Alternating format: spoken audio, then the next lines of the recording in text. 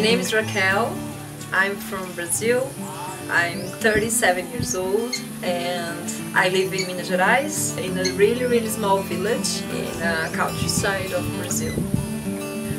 From my first experience abroad till now, I've been to around 50 countries.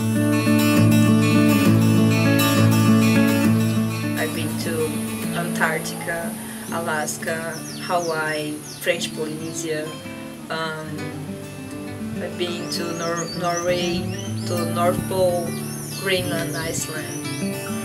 I did all the Alaska to the end of the world to Ushuaia, so I had a really nice experience. I can't complain.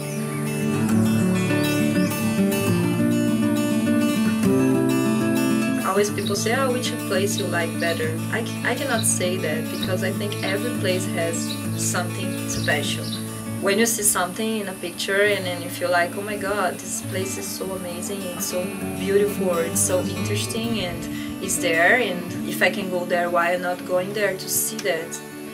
And of course, while you're going there, while you're traveling, and you have only one backpack with you, and you don't have so many things like your bed or like your hot shower, and you are in a situation sometimes that you don't understand people, what they're saying, and then I don't know, you miss your flight or something happened to you, you need to, to be with yourself.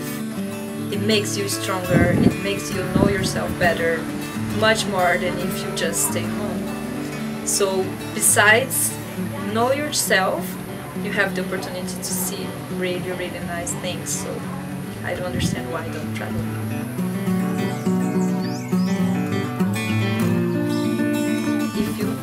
Want to travel, if you want to see the world, there's a lot, a lot of ways to do it. If you feel like you're living your life and you feel that something missing, just go. You're gonna feel the, the energy and you're gonna feel a really good vibe that's gonna make you wanted to go more and more, I'm pretty sure.